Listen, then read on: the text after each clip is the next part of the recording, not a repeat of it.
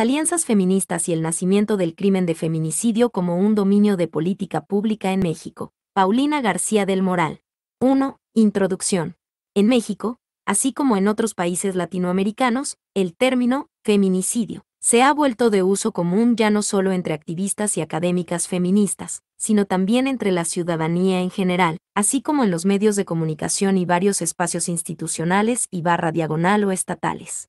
En México, el uso común de este término no se puede desligar de la historia de lucha feminista para visibilizar la ola de violencia feminicida y las violaciones a los derechos de las mujeres que azotan el país, más allá de Ciudad Juárez y Chihuahua, con la complicidad del Estado masculinista mexicano. La lucha sigue, día a día, porque esta violencia no es cosa del pasado y a las mujeres y niñas se les sigue asesinado con impunidad. La lucha sigue dados los innumerables obstáculos que impiden el acceso a la justicia y que están comúnmente ligados a la resistencia institucional para implementar el tipo penal de feminicidio en todos los estados del país, como lo revela el último reporte del Observatorio Ciudadano Nacional del Feminicidio, OMF. En este artículo quiero sugerir que este contexto de lucha denota el proceso de la construcción social de un problema nacional, pero también de una innovación legal feminista que ha resultado en el nacimiento de lo que los sociólogos Raikin Grattet y Valerie Jennings identifican como un dominio de política pública, policy domain. En sus estudios sobre la institucionalización del crimen de odio en Estados Unidos, Grattet y Jennings usan este concepto para referirse a dos cosas. Primero, al rango de actores colectivos. Por ejemplo, políticos, expertos, oficiales, ejecutores, que han ganado la suficiente legitimidad para hablar o tomar acciones sobre un problema en particular. Segundo, a las lógicas culturales, teorías, marcos o ideologías que estos actores traen consigo al construir el problema y la respuesta de política pública. Así, Grattet y Jennings estudian cuatro procesos a través de los cuales se institucionaliza un dominio de política pública. 1. El reconocimiento del problema y su posicionamiento en la agenda política. 2. La creación de propuestas de política pública como respuesta legislativa. 3. La selección de estas propuestas. Y 4 el cambio de las leyes o políticas públicas conforme se les implementa. ¿Por qué estudiar el crimen de feminicidio no solo como la manifestación extrema de la violencia contra las mujeres basada en la desigualdad de género, sino como un dominio de política pública? Siguiendo los pasos de Grattet y Jennings, propongo que este marco conceptual nos puede dar nuevas perspectivas para comprender los obstáculos a los que se enfrenta esta innovación legal feminista. Este análisis se enfoca en trazar el nacimiento y desarrollo del crimen de feminicidio como un dominio de política pública haciendo énfasis en las alianzas entre feministas dentro y fuera de las instituciones del Estado. Específicamente, examino de qué forma las alianzas académicas, activistas y legisladoras feministas construyeron al feminicidio como un problema nacional, la respuesta. Legislativa federal y estatal que se detonó consecuentemente y el rol que aquí jugó el litigio estratégico a nivel supranacional y nacional. Mi propósito es señalar cómo este proceso sociolegal ha ido acompañado de varias transformaciones del concepto de feminicidio, conforme éste ha circulado en estos distintos espacios. A la vez, argumento que la implementación ineficiente de este tipo penal constituye su falta de maduración o bien su institucionalización incompleta como dominio de política pública. Por último, abordo preguntas en torno al potencial y límite del derecho como herramienta de cambio social. 2. Las alianzas feministas y la construcción social del feminicidio como problema nacional. La construcción del feminicidio durante las últimas dos décadas como un problema nacional es producto de varias alianzas entre diversas feministas dentro de espacios de activismo, académicos y políticos. En primera instancia, estas alianzas se desarrollaron a finales de los años 90 como respuesta a las desapariciones y los asesinatos de mujeres y niñas en Ciudad Juárez y Chihuahua, y su impunidad. El activismo en contra de esta violencia comenzó aún antes de que se le conociera como feminicidio, el término que Marcela Lagarde y Julia Monarres Fragoso utilizan en su trabajo académico sobre este tema. Sin embargo, la transnacionalización de este activismo dio pie a que este concepto se adoptara poco después como marco de encuadramiento para denunciar esta violencia y su impunidad, ambas ligadas a la complicidad del Estado por no prevenirlas y barra diagonal, sancionarlas, como una violación de los derechos humanos de las mujeres. Aunque este marco inicialmente identificaba el feminicidio como un problema exclusivo de Chihuahua vinculado a su condición de Estado fronterizo y la presencia de la industria maquiladora y del crimen organizado, su inserción en la esfera política, con el propósito de crear medidas legislativas para su combate, reveló la dimensión nacional de este problema. En esta sección describo estos procesos para después analizar cómo resultaron en la innovación legal feminista, del tipo penal de feminicidio y así, en el nacimiento de un nuevo dominio de política pública. 2.1. El reconocimiento del problema del feminicidio y su posicionamiento en la agenda política. La movilización en contra de las desapariciones y los asesinatos de mujeres en Ciudad Juárez, y luego Chihuahua, a principios de los años 90, surgió después de que la activista feminista juarense Esther Chávez Cano hubiese establecido la existencia de este patrón de violencia a partir de notas periodísticas.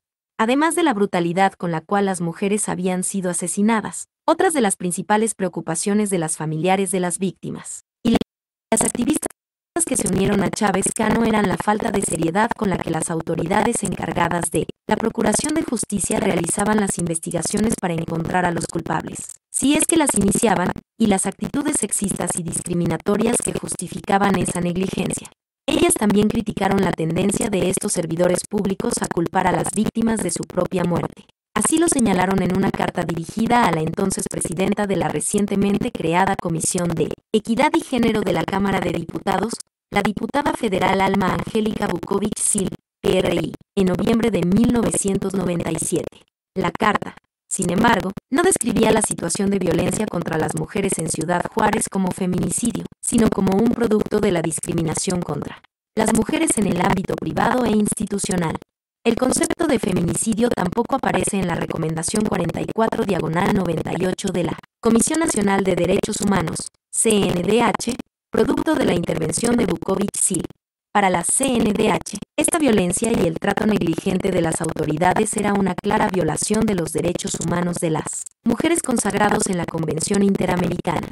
Para prevenir, sancionar y erradicar la violencia contra las mujeres, o Convención de Belém do Pará, la Convención sobre la Eliminación de todas las formas de discriminación contra la mujer, CEDA, y la Declaración sobre la Eliminación de la Violencia contra la Mujer, de de las Naciones Unidas, ONU, entre otros tratados internacionales de derechos humanos, al igual que del principio de igualdad jurídica entre las mujeres y los hombres según el artículo 4 constitucional.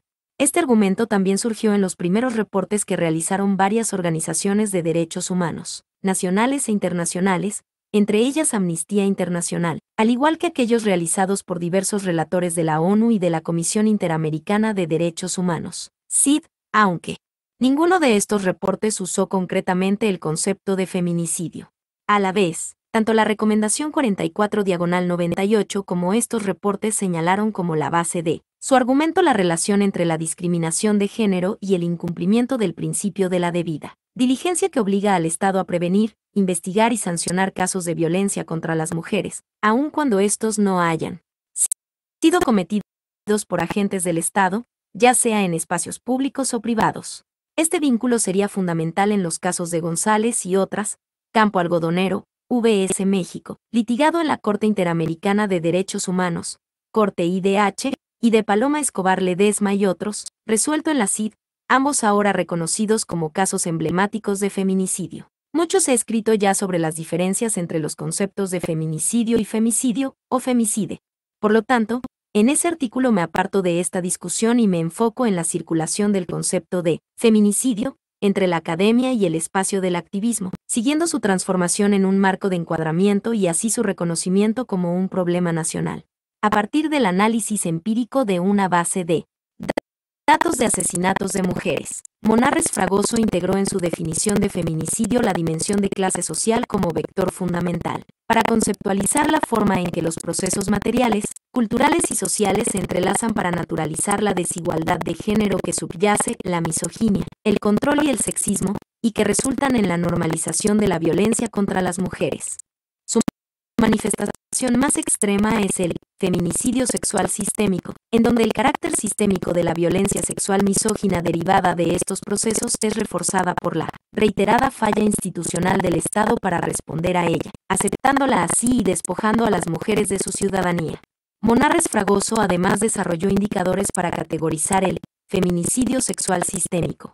Entre ellos está no solo la violación, la penetración de las cavidades corporales de la víctima, sino también el lugar en donde se arrojó su cadáver, por ejemplo, los lotes baldíos o los basureros, la exhibición del cuerpo desnudo o semidesnudo, y las marcas de tortura y violencia que se le infligieron.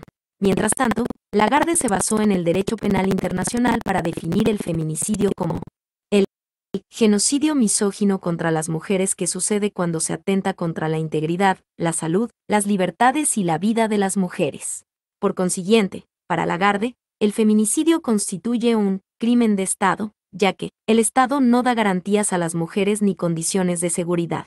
Asimismo, Lagarde acuñó otro concepto similar, el de violencia feminicida, como una violación de los derechos humanos de las mujeres derivada de la violencia de género más extrema que puede resultar en la muerte violenta u homicidio, así como en impunidad. Ambas académicas fueron ponentes durante el primer Tribunal Internacional de Conciencia sobre las violaciones de los derechos humanos de las mujeres de Ciudad Juárez y Chihuahua en marzo de 2004, el cual fue parte de la campaña de activismo transnacional Alto a la impunidad, ni muerta una más. Fue ahí en donde el concepto de feminicidio se transformó en un marco de encuadramiento. Esta transformación fusionó discursivamente varios elementos de las definiciones de Lagarde y Monarres Fragoso, principalmente la relación entre la naturaleza sistémica de la violencia misógina, la impunidad y la falla institucional del Estado, con el lenguaje de los derechos humanos que también habían utilizado las organizaciones de la sociedad civil otros actores internacionales. Una vez establecido como marco, el término feminicidio se volvería la palabra clave para referirse al problema de los asesinatos con impunidad a mujeres y niñas de Ciudad Juárez y Chihuahua. Es necesario señalar aquí que la transformación de él concepto académico de feminicidio en un marco de encuadramiento, claramente, representó la solidificación de alianzas entre feministas dentro de la academia y el activismo, pero también en la política. Para ese entonces, Lagarde ya era diputada federal y previamente, el 25 de noviembre de 2003, había introducido su definición de feminicidio, misma que fue rápidamente adoptada por otras diputadas y senadoras feministas. Esto propagó su difusión tanto en la Cámara de Diputados como en la Cámara de Senadores durante la 50 y 9 legislatura, 2003 a 2006. Las comisiones de equidad y género en ambas cámaras jugaron un papel muy importante en este proceso, al igual que la Comisión Especial para conocer y dar seguimiento a las investigaciones relacionadas a los feminicidios en la República Mexicana y la justicia vinculada de la Cámara de Diputados, presidida por la propia Lagarde. Asimismo, estos espacios legislativos abrieron el camino para que el feminicidio fuera construido como un problema nacional y ya no exclusivo de Ciudad Juárez y Chihuahua, como se refleja en el nombre de la misma comisión especial. La Comisión Especial de la 58 legislatura, 2000 a 2003, que le precedió estaba dedicada únicamente a los homicidios de mujeres en el estado fronterizo. Si bien los asesinatos de mujeres y niñas en Ciudad Juárez y Chihuahua se volvieron el emblema del feminicidio, la Lagarde desde un principio lo definió como un problema nacional. Como presidenta de la Comisión Especial de Feminicidios, Lagarde además comisionó un estudio diagnóstico sobre la violencia feminicida, primero en 10 entidades federativas y más tarde en todo el país.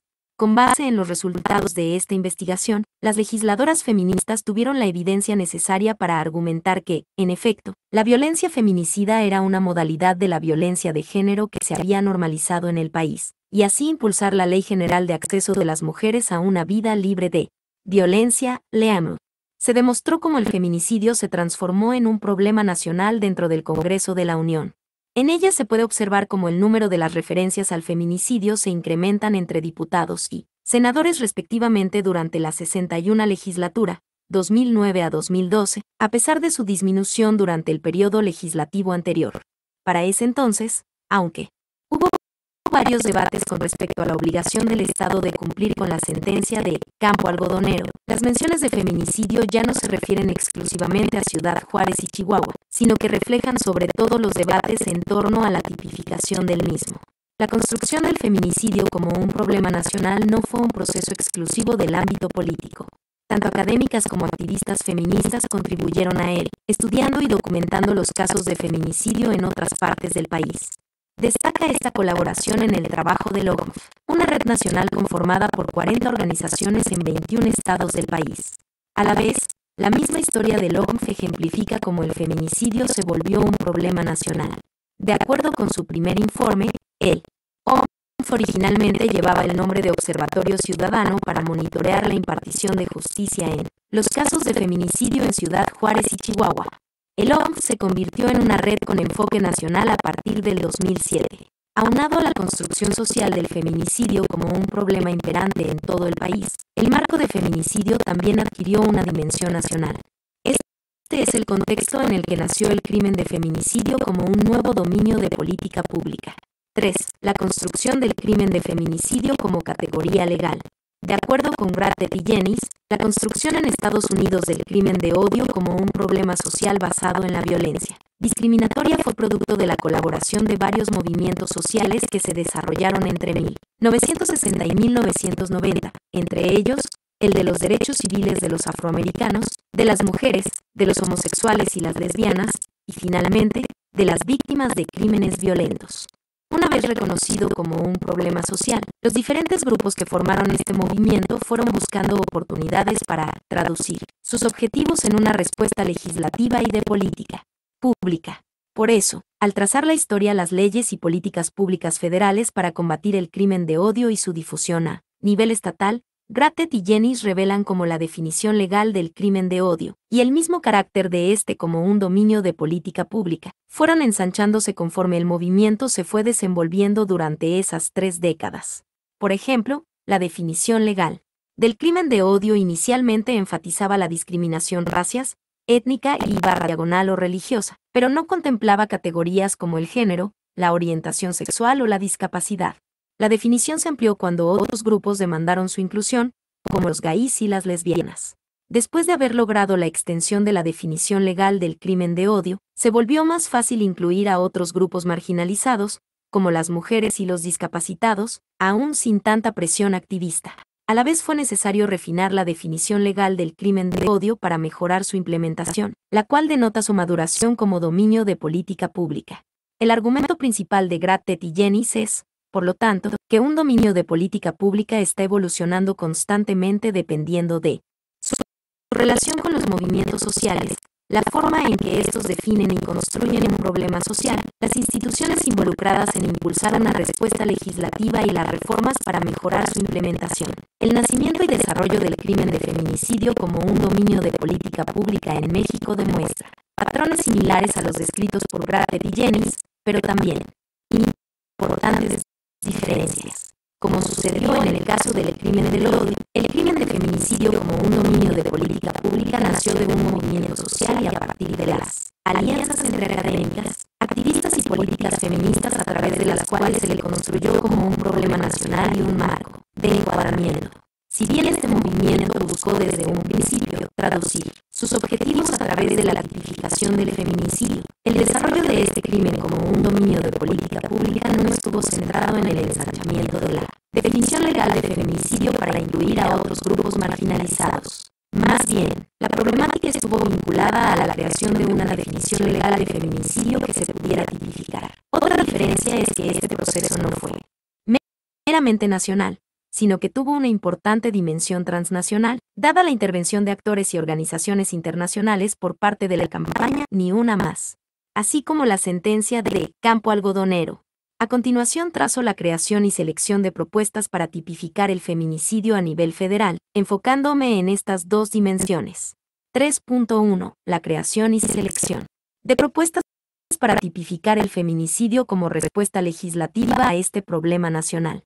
La tipificación del feminicidio el 12 de junio de 2012 marcó el triunfo de la lucha de las feministas mexicanas por crear una respuesta legislativa a este problema nacional. De acuerdo con el artículo 325 del Código Penal Federal, comete el delito de feminicidio quien prive de la vida a una mujer por razones de género. Se considera que existen razones de género cuando concurra alguna de las siguientes circunstancias. 1. La víctima presente signos de violencia sexual de cualquier tipo. 2 a la víctima se le hayan infligido lesiones o mutilaciones infamantes o degradantes, previas o posteriores a la privación de la vida o actos de necrofilia. 3. Existan antecedentes o datos de cualquier tipo de violencia en el ámbito familiar, laboral o escolar, del sujeto activo en contra de la víctima. 4. haya existido entre el activo y la víctima una relación sentimental, afectiva o de confianza. 5. Existan datos que establezcan que hubo amenazas relacionadas con el hecho delictuoso, acoso o lesiones del sujeto activo en contra de la víctima. 6. La víctima haya sido incomunicada, cualquiera que sea el tiempo previo a la privación de la vida. 7. El cuerpo de la víctima sea expuesto o exhibido en un lugar público. Además de sancionar este delito con penas equivalentes a las del homicidio, este artículo sanciona al servidor público que retarde o entorpezca maliciosamente o por negligencia la procuración o administración de justicia, condición, multas y su destitución e inhabilitación para desempeñar cargos públicos. Definida de esta forma, la categoría legal de feminicidio puso en práctica la idea del género como una estructura social de poder que subordina a las mujeres por medio de la violencia, así como el rol del Estado en perpetuar esta subordinación. Sin embargo, la creación de esta categoría legal tuvo una trayectoria larga y difícil, a pesar de que el feminicidio como concepto académico y marco de encuadramiento había cobrado fuerza y se había empezado a popularizar dentro y fuera México.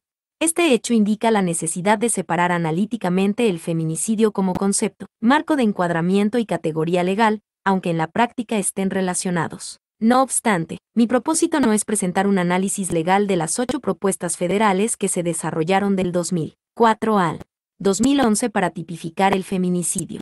Mi intención es más bien señalar la construcción del significado legal del tipo penal de feminicidio y su transformación dentro del espacio legislativo conforme se fueron elaborando estas propuestas.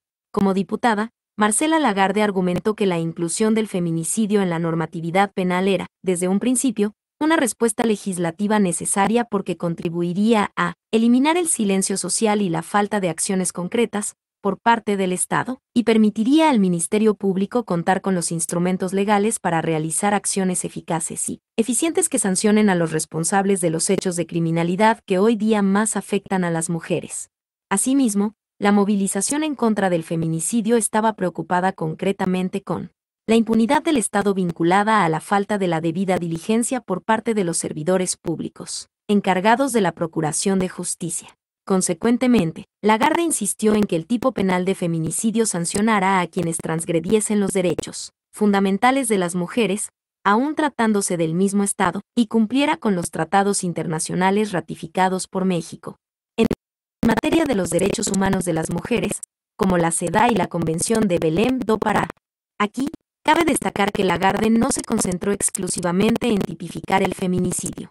Con otras legisladoras feministas como las diputadas Diva Adamira Gastelum, PRI, y Angélica de la Peña, PRI, así como con el apoyo de la Comisión de Equidad y Género, creó un marco jurídico que tuviera una perspectiva de género y que incorporara estos instrumentos internacionales. El resultado fue la iniciativa de la LAMP como otra respuesta legislativa al feminicidio al incluir el concepto de la violencia feminicida y al crear el mecanismo de la alerta de género.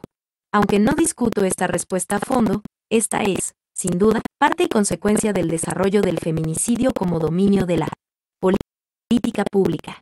Lagarde estuvo involucrada en las tres primeras propuestas federales para tipificar el feminicidio. La primera data del 7 de diciembre de 2004, la segunda, del 14 de diciembre de 2005, y la última, del 26 de abril de 2006.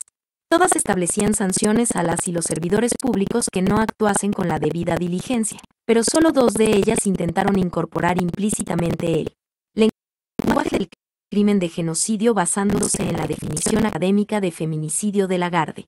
Por ejemplo, la primera definía el feminicidio como un atentado, sin importar la finalidad de la acción, en contra de la vida, la dignidad, la integridad física o mental de mujeres en una determinada comunidad o región donde de manera recurrente se hubieran venido cometiendo estos delitos. Esta amplia definición consideraba además actos de violencia más allá del homicidio, desde la desaparición forzada, la violación, el abuso sexual y la mutilación, hasta la esterilización y prostitución forzadas, la trata y el tráfico de personas, así como la discriminación por orígenes étnicos, raciales, preferencia sexual o por estado de gravidez. Finalmente, esta definición también incluía a todas las conductas prohibidas por los tratados internacionales en materia de derechos humanos y protección a la mujer. La tercera propuesta, un dictamen de las Comisiones Unidas de Justicia y Equidad y Género, fue más explícita al evocar el lenguaje del genocidio comete el delito de feminicidio el que con propósito de destruir total o parcialmente a uno o más grupos de las mujeres por motivos de su condición de género, perpetrase por cualquier medio, delitos contra la vida de las mujeres pertenecientes al grupo o grupos. Presentada dentro de la iniciativa de la LAMR, la segunda propuesta había tomado una dirección diferente al vincular la definición de feminicidio a actos de odio o misoginia. En esta definición también se consideraba el contexto de la violencia familiar, la violencia sexual, la homofobia y el estado de indefensión de la víctima.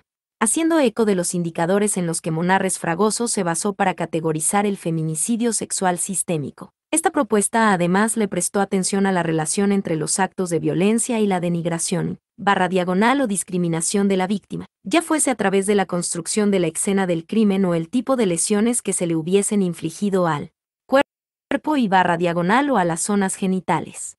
Si bien estas propuestas fueron dictaminadas y aprobadas el 26 de abril de 2006, no resultaron en la tipificación del feminicidio. Por eso, durante la LX legislatura, 2006 a 2009, la diputada Aida Marina Arbizu, alternativa, presentó otra propuesta el 9 de diciembre de 2008. Básicamente esta retomó casi todos los elementos de la propuesta que se había intentado. Integrar en la LAMB, incluyendo el énfasis en el odio y la misoginia para definir el delito de feminicidio. La única diferencia entre la iniciativa del 2006 y la del 2008 consistió en que la última también contemplaba la privación de la vida de las trabajadoras sexuales o mujeres que prestasen sus servicios en bares o centros nocturnos como feminicidio, pero eliminó la categoría de la indefensión de la víctima. Tampoco establecía sanciones para servidores públicos que no hubiesen actuado con la debida diligencia. Esta propuesta fue dictaminada en sentido negativo y, por lo tanto, fue desechada. Las últimas cuatro propuestas se elaboraron durante la 61 y legislatura, 2009 a 2012. La primera de ellas, del 17 de febrero de 2011, fue suscrita por la diputada Mary Telma Guajardo, PRD, como parte de la Iniciativa de Ley de Emergencia contra los Feminicidios. En esta ya no se relacionó explícitamente la privación de la vida de una mujer con actos de odio o misoginia. Para definir el delito del feminicidio, sino con circunstancias como mutilación, tortura, violación, abuso sexual, secuestro, desaparición forzada, lesiones graves y decapitación. A la vez, retomó la construcción de una escena del crimen, denigrante y humillante, el que a la víctima se la hayan infligido lesiones infamantes o en zonas genitales, el contexto de violencia familiar y la inclusión de trabajadoras sexuales como víctimas. Por último, prestó atención a la relación entre la víctima y el agresor.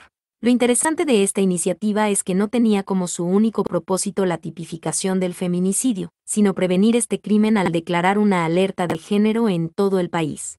Además, proponía crear mejores mecanismos para garantizar el acceso a la justicia de los familiares de la víctima. Sin embargo, a esta propuesta se le otorgó una prórroga y no volvió a discutirse antes de que se tipificara el feminicidio. En junio de 2012, las siguientes tres propuestas fueron presentadas por las diputadas Gastelum, PRI, 3 de marzo de 2011. Teresa. Inchaustegui, PRD, 9 de marzo de 2011, y Laura Elena Estrada, PAN, 17 de marzo de 2011. La diputada Gastelum ya había estado involucrada en la propuesta para tipificar el feminicidio de diciembre de 2005 aunque su iniciativa del 2011 no menciona a la misoginia, define el delito de feminicidio como la privación de la vida de una mujer por motivo de una violación, desprecio u odio a la víctima, motivado en la discriminación, tortura, tratos crueles, inhumanos o degradantes y violencia familiar. De nuevo, esta propuesta identifica la existencia de una relación de pareja o de carácter conyugal entre la víctima y el agresor, y el estado de indefensión o incapacitación de la víctima como otras circunstancias que resultan en un feminicidio si concurren cuando se le priva de la vida a una mujer. Destaca aquí, por lo tanto, el énfasis que se hace en el odio o desprecio a la víctima y su relación con la discriminación. Por su parte, la propuesta de la diputada Inchaustegui planteó la definición del feminicidio como la privación de la vida de una mujer por razones de género. Además, indicó que había razones de género cuando la relación entre el agresor y la víctima fuese de parentesco, matrimonio, concubinato o amistad, o bien cuando hubiera existido una relación laboral, docente, o cualquier otro que implique confianza, subordinación superioridad, así como cuando las lesiones que se le hubiesen infligido a la víctima fueran denigrantes, infamantes o mutilaciones previas o posteriores a la privación de la vida. Nuevos elementos que se consideraron como razones de género fueron que el cuerpo de la víctima se ha expuesto o arrojado en un lugar público la existencia de antecedentes de amenazas, acoso o lesiones del sujeto activo en contra de la víctima y que la víctima haya sido incomunicada. Esta definición legal del feminicidio propuesta por la diputada Inchaustegui, como sabemos, constituyó la base del tipo penal que se adoptó finalmente. Por último, la iniciativa de la diputada Estrada presentó la definición más sencilla, quizá, del delito de feminicidio, proponiendo que se sancione al hombre que dolosamente prive de la vida a una mujer. También propuso que las penas se incrementasen dependiendo del tipo de relación que existiera entre el victimario y la víctima. Tanto esta iniciativa como la de la diputada Inchaustegui especificaban sanciones para funcionarios públicos que no actuasen con la debida diligencia para prevenir, investigar o sancionar el feminicidio. Estas últimas tres propuestas fueron dictaminadas y aprobadas en la Cámara de Diputados y de Senadores para ser devueltas más tarde, de manera combinada, a la Cámara de Diputados entre diciembre de 2011 y abril de 2012. Así, en junio de 2012, culminó el proceso para tipificar el feminicidio. Al trazar este proceso, se puede observar lo difícil que fue traducir los objetivos de la movilización feminista y su preocupación por la inmunidad con el feminicidio, al igual que las definiciones académicas de este concepto a una categoría legal viable. Es interesante notar cómo las propuestas intentaron, inicialmente, construir el significado legal del feminicidio poniendo en práctica categorías ya existentes como el genocidio y la misoginia sin tener éxito, a pesar de que se aproximaban más a las definiciones académicas del feminicidio. Últimamente, todos los intentos tratarán de captar, en diferentes maneras, la relación entre el asesinato de una mujer y el contexto social de la desigualdad de género que estructura la las mujeres y que opera como un obstáculo para el ejercicio de sus derechos. Sin embargo, la noción de las razones de género, como el motivo principal subyacente al crimen de feminicidio, se mencionó únicamente en la propuesta de la diputada Inchaustegui. ¿De dónde vino esa definición? El análisis de la exposición de motivos de esta iniciativa nos da claves para responder a esta pregunta. Por una parte, la exposición de motivos se apoya en el uso de la categoría de género, enmarcado en la LAMBR como un marco jurídico basado en la CEDA, de BAP y la Convención de Belém do Pará. Por ejemplo, la LAM y estos instrumentos identifican claramente la violencia basada en el género y su vínculo con la discriminación sistémica contra las mujeres. Pero la exposición de motivos también revela el impacto de la campaña transnacional Ni Una Más, como se observa en el siguiente extracto que habla del feminicidio en México. Esta forma de violencia contra las mujeres que revela en sus manifestaciones un carácter sistemático, se ha identificado a lo largo de casi dos décadas por el trabajo de familiares de las víctimas, de organizaciones de mujeres, activistas defensoras de los derechos de las mujeres y de derechos humanos, logrando llamar la atención de diversos organismos internacionales, como la CID, que produjo el informe sobre la situación de los derechos de la mujer en Ciudad Juárez, México, el derecho a no ser objeto de violencia y discriminación 2003, fundamental para visibilizar el problema en la región americana. Como bien lo documenta Olga Akenaraluce, la campaña Ni una más puso en la agenda internacional la respuesta fallida del Estado mexicano a la violencia contra las mujeres y niñas de Ciudad Juárez y Chihuahua. Así logró llamar no solo la atención de la CID, sino también la del Comité para la Eliminación de la Discriminación contra la Mujer, Comité de SEDA, y varios relatores especiales de la ONU, entre otras organizaciones de derechos humanos. La intervención de estos actores internacionales resultó en numerosos reportes y recomendaciones que identificaban esta situación como una violación de los derechos humanos de las mujeres. Entre estas recomendaciones se encontraba la urgente necesidad de tipificar el feminicidio como una respuesta de política pública a este gran problema. Así lo especificó el reporte del Comité SEDA en el 2006 y la Declaración sobre el Femicidio del Mecanismo de Seguimiento de la Implementación de la Convención Interamericana para Prevenir, Sancionar y Erradicar la Violencia contra la Mujer, MESECBI, en el 2008. Es, sin embargo, la sentencia de la Corte ID en el caso de Campo Algodonero, en donde encontramos más claramente la respuesta a nuestra pregunta. Como lo especifica la exposición de motivos, en esta sentencia la Corte ID define los feminicidios como los homicidios de mujeres por razones de género y especifica que la investigación de este tipo de crímenes implica obligaciones adicionales para los estados. De acuerdo a la COIDH, cuando un ataque contra una mujer es motivado por un asunto de discriminación, por el hecho de ser mujer, es particularmente importante que la investigación sea realizada con vigor e imparcialidad, ya que existen dos obligaciones adicionales para resolver estos crímenes. 1. Reiterar continuamente la condena de los crímenes por razones de género a la sociedad y 2. Mantener la confianza de la población en la habilidad de las autoridades de protegerlas de la amenaza de violencia. Por ello, la COIDH señala que la falta de una investigación adecuada conlleva a la impunidad y esta es la principal causa de la continuidad de los crímenes, pero también consecuencia de la violencia estructural contra las mujeres. ¿Por qué es importante analizar de dónde viene la definición del feminicidio como categoría legal?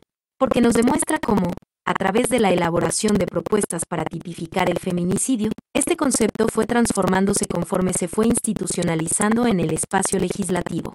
A la vez, este análisis captura como la elaboración y selección de propuestas para tipificar el feminicidio no fue un proceso meramente nacional. Por ejemplo, el litigio estratégico a nivel supranacional fue una importante estrategia que complementó la presión transnacional de la campaña, ni una más, para lograr la tipificación del feminicidio. Aquí también es importante mencionar que el impacto de esta estrategia y de la campaña tuvo ese resultado, debido a los esfuerzos que legisladoras feministas habían hecho por transversalizar la perspectiva de género y por socializarla al Estado mexicano para que éste aceptara las normas internacionales en materia de los derechos humanos de las mujeres. De esto se desprende que la construcción del significado legal del feminicidio resultó de la interacción transnacional de varios procesos y actores nacionales, internacionales y supranacionales aunque no me es posible discutirlo aquí, es importante mencionar que estos esfuerzos desde un principio se llevaron a cabo a nivel local de manera simultánea, logrando la tipificación estatal del feminicidio. De hecho, algunos estados tipificaron el feminicidio incluso antes de que se creara el tipo penal federal, aunque la mayoría lo hizo después. Interesantemente, Chihuahua fue el último estado en tipificar el feminicidio, apenas en septiembre de 2017. Estos procesos denotan el desarrollo del crimen de feminicidio como un dominio de política pública. También indican la transformación del concepto de feminicidio conforme circuló del espacio de la academia y del activismo al ámbito legislativo. Sin embargo, la tipificación inadecuada, la resistencia a homologar el tipo penal estatal al federal y su fallida implementación al ignorar la necesidad de adoptar una perspectiva de género son algunos factores que representan su falta de maduración. 4. La falta de maduración del crimen de feminicidio. Como un dominio de política pública para Gratet y Jennings, la implementación de la ley Love Enforcement es el último paso en el desarrollo del crimen de odio como un dominio de política pública, y por lo tanto, argumentan que no debiera de ser sorprendente que estuviera menos institucionalizado que en otros espacios. Sin duda, esta aseveración sería aplicable al contexto mexicano con respecto al desarrollo del crimen de feminicidio como un dominio de política pública. No obstante, aquí quiero sugerir que su implementación ha tendido a ser tan ineficiente, como, lo revela el último informe de OCDE, que se debiera considerar más bien como un obstáculo para su maduración o bien para completar el proceso de su institucionalización. De acuerdo con el OCDE, existe una relación entre la tipificación inadecuada a nivel estatal y la implementación ineficiente del tipo penal de feminicidio. Muchos de los estados tipificaron el feminicidio incluyendo elementos subjetivos de difícil acreditación en vez de elementos objetivos. Esta tipificación inadecuada tiene como consecuencia la impunidad, ya que obstaculiza que los asesinatos de mujeres se investiguen como feminicidio. En efecto, el OCMF encontró que, de un total de 6.297 casos de mujeres asesinadas en 25 estados del país, entre el 2014 y el 2017, solo el 30% fue investigado como feminicidio. 63 esto a pesar de que existen protocolos para la investigación del delito de feminicidio con perspectiva de género, así como estándares de investigación que emanaron de la sentencia de la Suprema Corte de Justicia de la Nación, SCJN, en el caso del feminicidio de Mariana Lima Buendía. Es decir, existen múltiples resistencias para reconocer y por lo tanto investigar y sancionar los asesinatos de mujeres por razones de género como feminicidios, concluye el OGMF. Además de que continúa el patrón de la revictimización de las víctimas basado en la discriminación sistemática de género. Esta falta de maduración del crimen de feminicidio como un dominio de política pública apunta a un problema que, de acuerdo con Kathleen Stout, es ignorado frecuentemente en las investigaciones sobre él. Activismo transnacional en torno a los derechos humanos de las mujeres, la resistencia burocrática a las perspectivas feministas y la igualdad de género. Para Stout, esta resistencia es el producto no solo de la letargia burocrática, sino de la identificación personal con el privilegio y los valores masculinistas empotrados en las instituciones estatales y la reacción en contra, backlash, del cambio institucional, que pretende desmantelarlos.